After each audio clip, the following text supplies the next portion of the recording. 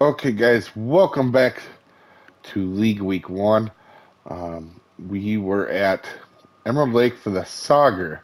So we basically had one shot to get the biggest fish you could. Um, and it was fun, but small, smaller weights than I thought there would be. I definitely thought there was going to be a six three or six five. I caught a few right beforehand, uh, so I thought I, I caught a few six threes, so I figured um, they were going to be a little bit higher. We had our first ever tie. Uh, by the way, good win to Gringo. I think he's got a few of them wins now. Uh, Shock, nice second place, and Brian, nice third place. Um, Ginger and Moose actually tied. That's crazy. So when you guys see the points, I did give them both fourth place points. They, they both earned it. So also, I normally get questions about it. Why there's only one win after two weeks. Um, I won the first week, and I'm not giving myself points, so you won't see me on the top of the points or nothing like that. Uh, I think as we move seasons on, I'm going to stay out of points because I think it's funner um, to kind of just watch what unfolds with the stream. And I still stream them and fish them, but like I said, I don't get points for league since I'm uh, kind of hosting it and just watching what happens. Pala with a good one here.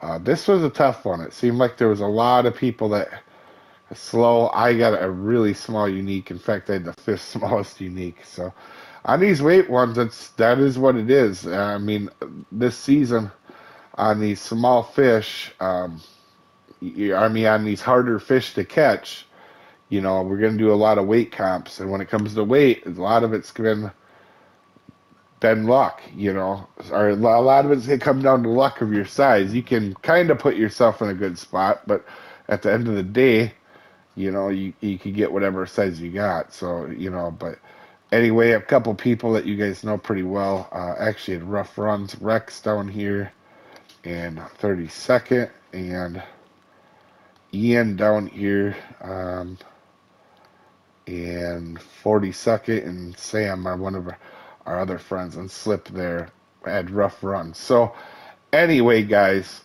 um, just so you know, too, I'm not feeling the best. I was feeling really good this morning, and I've been feeling like crud. So um, I don't know on the videos. I probably do something on that, but I am feeling really, really terrible today. So I will talk to you guys later, um, and have a good one, folks.